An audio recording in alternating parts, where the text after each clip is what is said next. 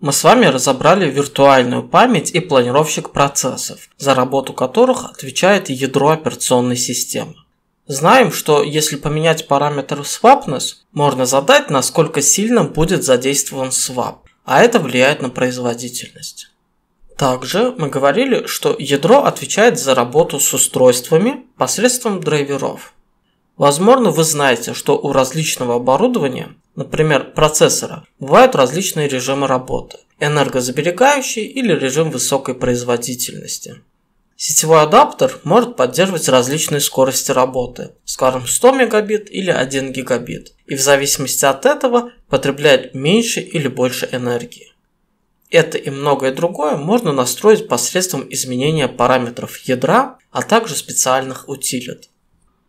Когда у вас одна система, вы можете это сделать и вручную, но для этого придется изучить немало документации.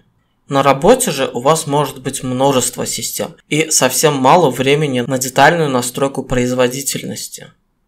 В большинстве случаев многие и не заботятся о производительности, так как расчет на оборудование изначально берется с запасом. Правда, на высокопроизводительных системах все же нужно менять параметры ядра, иначе можно столкнуться с проблемами с процессами, сетью, памятью и прочим. Но обычно в документации требуемого софта упоминаются необходимые параметры. По ссылке вы можете посмотреть пример, как производитель софта рекомендует рассчитать и выставить определенные параметры. Однако это специфичные настройки для определенной программы. Не для всех программ есть такие детальные рекомендации. Если вы задумываетесь об оптимизации производительности в ваших системах, вам может помочь демон TuneD. Он может быть полезен как для тех, кто совсем не разбирается в этой теме, так и для тех, кто знает, что к чему. Если вкратце, TuneD предоставляет готовые профили, в которых указаны нужные для производительности параметры, а также дает возможность создать свои профили.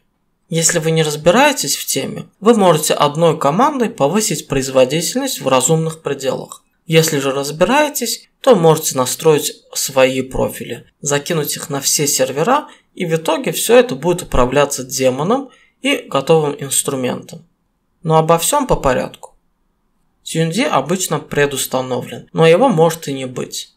Если статус показывает, что такого сервиса нет, вам нужно его предварительно установить, запустить и добавить в автозапуск. Основная утилита для работы с TuneD – это TuneD ADM. Она очень простая и опций довольно мало. Начнем с опции лист. Она показывает все профили. Так как мы своего профиля не создавали, нам отображаются шаблонные профили и их описание. Например, Desktop – оптимизированный под пользовательские компьютеры. PowerSafe – оптимизированный под низкое энергопотребление. Многие профили нацелены на высокую производительность сети и процессора при большем потреблении энергии. Узнать текущий профиль можно с помощью опции Active. Как видите, сейчас профилем является Virtual Guest. TND при установке пытается выбрать более подходящий профиль. Он определил, что мы устанавливаем систему как виртуалку, поэтому выбрал готовый профиль для виртуальных машин. Также TuneD может порекомендовать один из шаблонных профилей. Поменять его можно с помощью опции Profile, указав нужный профиль. Для примера выберем профиль с низкой задержкой в сети. Но зачастую этого недостаточно. Некоторые изменения требуют перезапуска сервиса или всей системы. Убедимся, что у нас выбран нужный профиль с помощью Active, после чего можно использовать опцию Verify. Она проверит, насколько применился профиль и подскажет, если что-то не так. В нашем случае мы видим, что Verify выдал ошибку. Какие-то текущие параметры отличаются от заданных в профиле. Также нам подсказали, что многие проблемы можно решить перезапуском демона. Но и это нам не помогло. Verify снова жалуется. То есть в нашем случае нужно перезагрузить систему. Проверим. И ошибка осталась. Но снизу есть подсказка, что стоит проверить лог файл. И тут видно, что значение параметра vmSwapness 35, а должно быть 10. Помните, мы его вручную прописывали в файле? Видимо, сейчас он перебивает значение, задаваемое TuneD. Давайте закомментируем нашу строчку etc sysctld 99 sysctlconf. После чего переактивируем профиль, чтобы он перезаписал этот параметр. Еще раз проверим verify. И все как надо. Чтобы в целом выключить TuneD, надо отключить сам сервис с помощью systemd. Если нужно временно вырубить профиль, то можно использовать опцию Off. А чтобы вернуть обратно, достаточно заново активировать профиль. Кроме предустановленных профилей, также в репозиториях можно найти и установить другие. Дефолтные профили лежат в директории user lib tuned. Здесь директории соответствуют названиям профилей, а внутри каждой директории есть свой файл tuned.conf, где и находятся сами параметры. Сам файл состоит из нескольких секций. В секции main мы видим описание профиля в опции Summary, а также опцию Include. Она указывает, что в данном профиле также используются настройки из профиля Latency Performance. То есть можно не с нуля писать профиль, а взять готовый и приписать ему еще пару параметров. Следующие секции – это плагины. Дело в том, что различные настройки производительности можно прописывать в различных местах. Где-то нужно в загрузчике добавить, где-то нужно поменять параметры ядра через sysctl, где-то через другие файлы. TUND профиль просто объединяет все это в одном месте. Кроме перечисленных, есть еще плагины для задания параметров процессора, диска, сети, сервисов, C-Linux, запуск скриптов и тому подобное. Для примера посмотрим еще PowerSafe профиль, так как там задействовано много плагинов.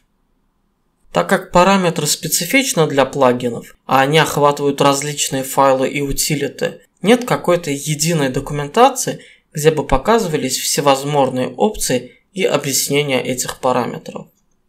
По примеру многих утилит, если дефолтные профили лежат в директории user-lib-tuned, то свои кастомные можно создать в директории etc-tuned.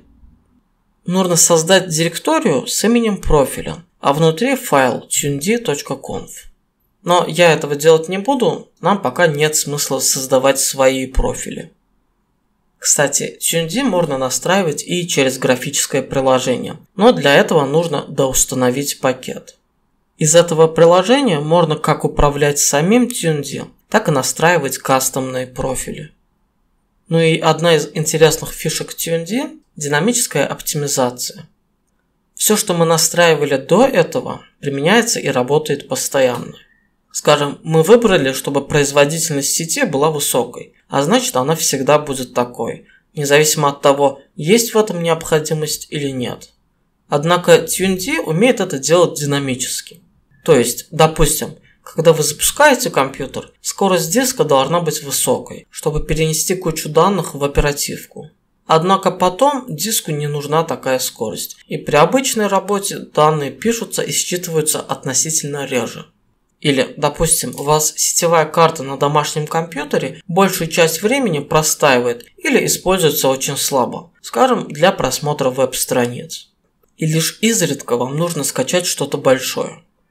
Вместо того, чтобы постоянно использовать вашу сетевую карту на максимум, почему бы не делать это только тогда, когда есть необходимость? Но, как мы уже разбирали, не все опции можно так легко переключать. Что-то можно изменить на лету, а что-то сработает только после перезагрузки. Динамическая оптимизация не касается всего. Ее можно настроить для определенных плагинов. И в основном она годится для рабочих станций, а не для серверов.